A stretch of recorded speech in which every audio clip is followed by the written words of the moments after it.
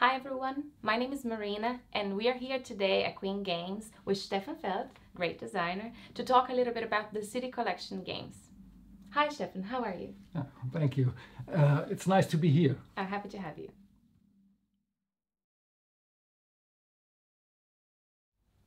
So Stefan, how did you get the idea for the City Collection? Oh, not I have the idea uh, with the City Collection. Uh, Raj, the CEO of Queen Games, have the idea. And we have a long relationship. Uh, Queen Games published my first, very first game, Roma, and we have other projects like Merlin or Amerigo. Uh, though it's, I was excited about uh, the idea with the City Collection. And besides the older games, the revisit of the older games, uh, I have the chance to make very new games in the City Collection. That is very exciting. Mm. And how did you decide which games would make into the City Collection? Oh, we, we look uh, at my older games and look which one fits best in the City Collection.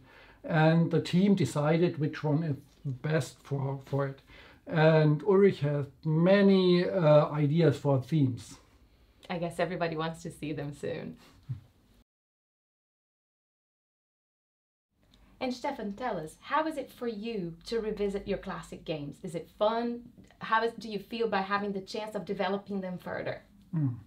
Uh, it's a, a, great work. We developed it uh, on the base of the older classic uh, games but there are many new ideas in the game uh, for for the people who played the older games they have new experience with the uh, games and um, I have uh, here the feedback of my older games and put um, better things in the new one and some parts are totally new in the game.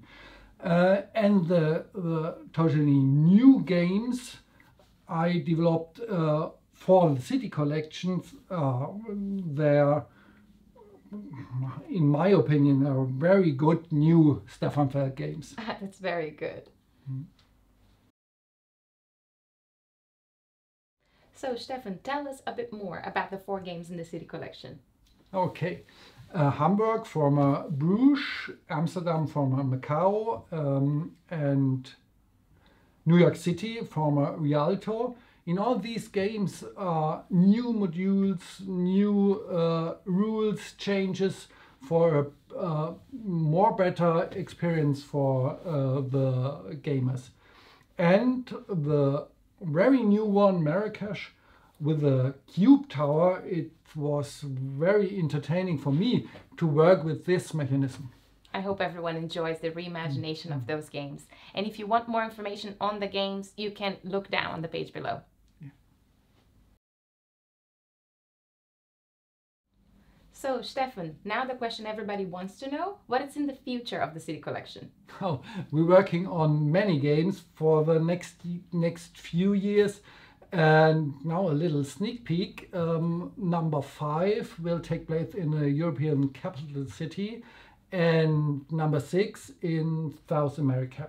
Ooh, you made us all curious. Can you guess which cities they are gonna be? Stefan, thank you for being here with us at Queen Games and answering questions about the city collection. We have enjoyed it very much. Thank you very much. Nice to be here.